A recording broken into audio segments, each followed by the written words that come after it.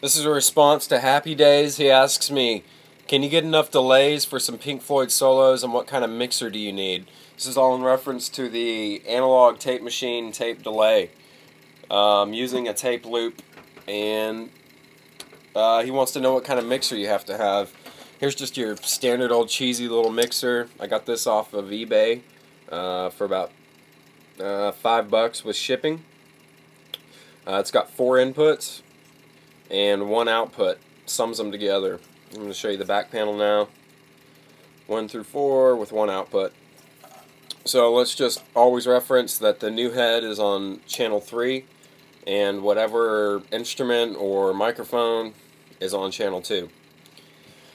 So the way you connect this is first I'm going to take my microphone. Today I won't be using a guitar but this old Akai microphone. And I'm going to go into the guitar input, channel number 2. And then I'm going to take the new playhead, which is this guy right here. I just ran a wire through the body and it comes out here to this quarter inch cable. I'm going to take this guy and put him into channel 3.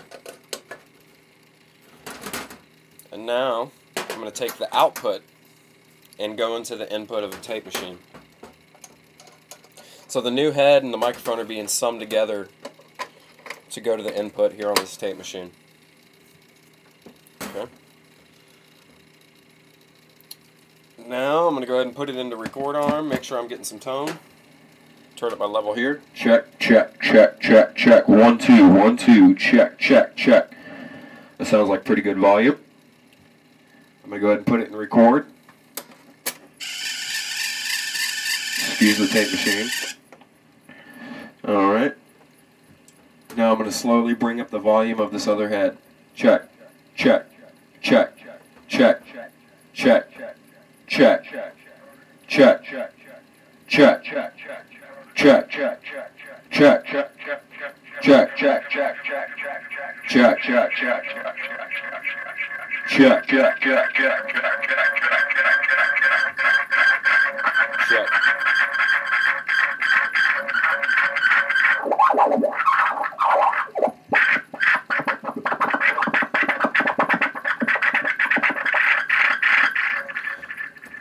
check, check, check.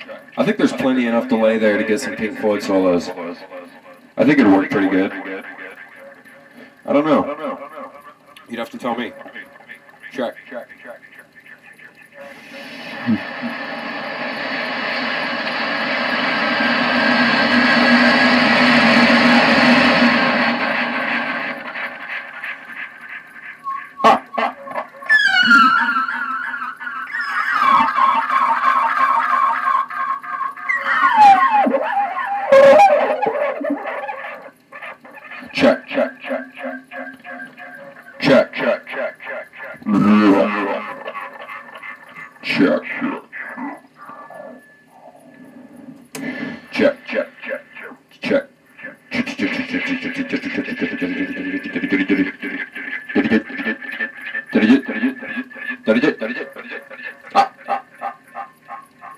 Well, I hope that helps. Hope that explains just a little bit. So you can get into dub delays, Pink Floyd solos, all that good stuff. with analog delay.